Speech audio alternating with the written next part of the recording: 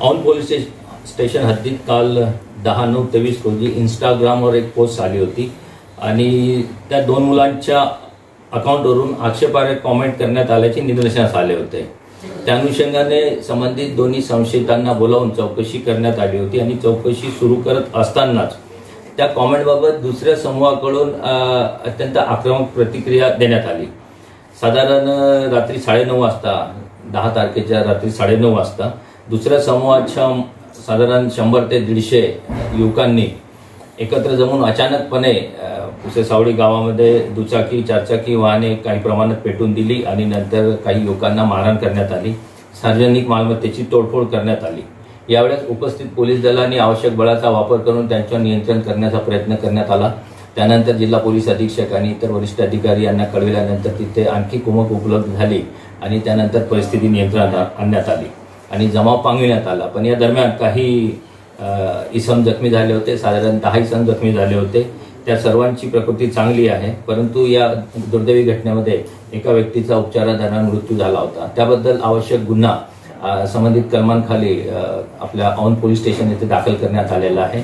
त्याचप्रमाणे आक्षेपार्ह कमेंट प्रकरणी सुद्धा एक गुन्हा संबंधित भादवीच्या कलमाखाली दाखल करण्यात आलेला आहे. या दोन्ही गुन्ह्यांचा तपास अत्यंत गांभीर्याने करण्यात येत आहे.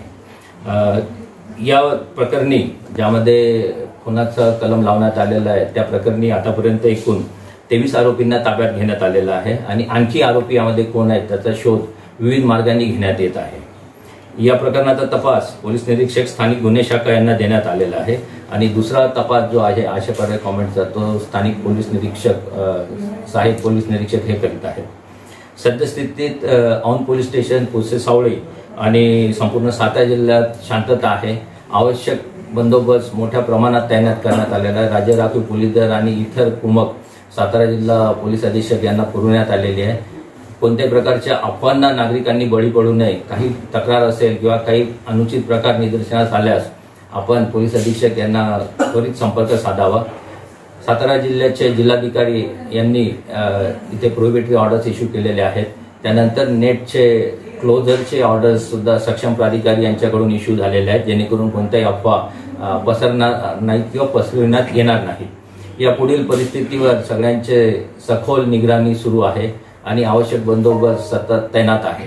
त्यामुळे मी नागरिकांना विनंती करतो की त्यांनी कोणत्याही कारणांसाठी एकत्र येऊ नये जमाव जमू नये. कोणतीही प्रसंग असल्यास आपण स्थानिक पोलीस स्टेशन येथे संपर्क साधा.